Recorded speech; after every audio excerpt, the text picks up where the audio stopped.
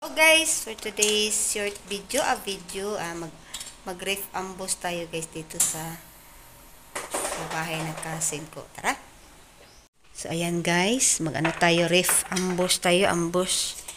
Ambusin natin yung ref nila. Charan! So meron dito papaya. Meron silang with the para siyang may siyang para siyang cake, guys. Victoria William. Para siyang cake. So, ayan. Meron silang Coco Crunch. Merong Milas at Chocolate Moist. Chocolate Moist. Eh, eh, eh. Tumba.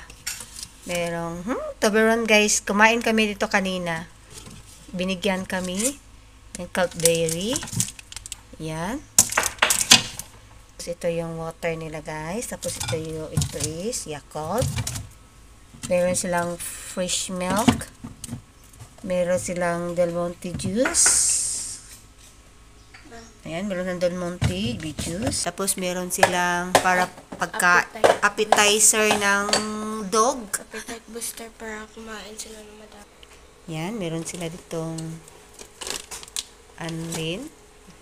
Yan, sugar. Del Monte soap. So, vegetables.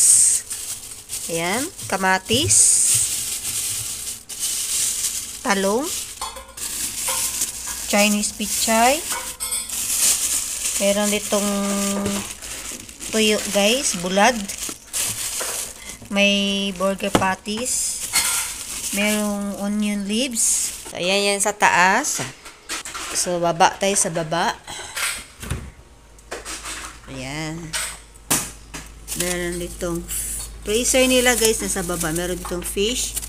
Yan, isda. Ewan ko na kung Yan. nasa Ice cream. Wala, may ice cream pa na. May ice cream. Punti na lang yung ice cream.